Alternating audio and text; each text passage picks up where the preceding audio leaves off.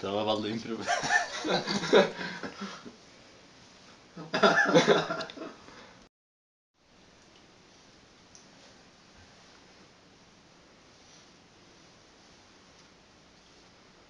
Hva så du med meg?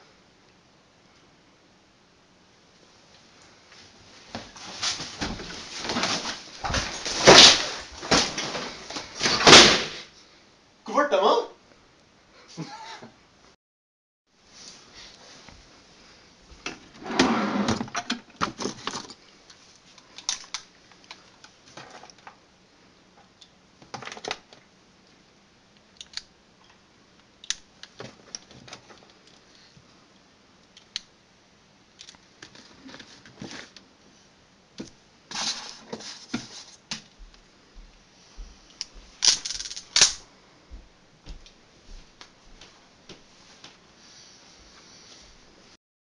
Dæven, jeg var med tidligere jentehåndballag i går.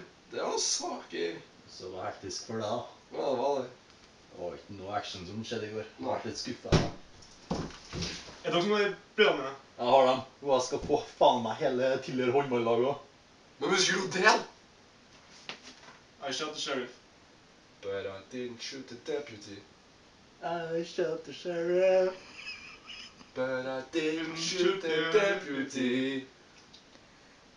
Oh no. Oh no. I shot the sheriff. Oh no. Ah. But I didn't shoot the deputy. I didn't shoot anyone. I didn't shoot them. I didn't shoot anyone. Ah. I didn't. I shot the sheriff. But I I didn't shoot the didn't shoot. Ah.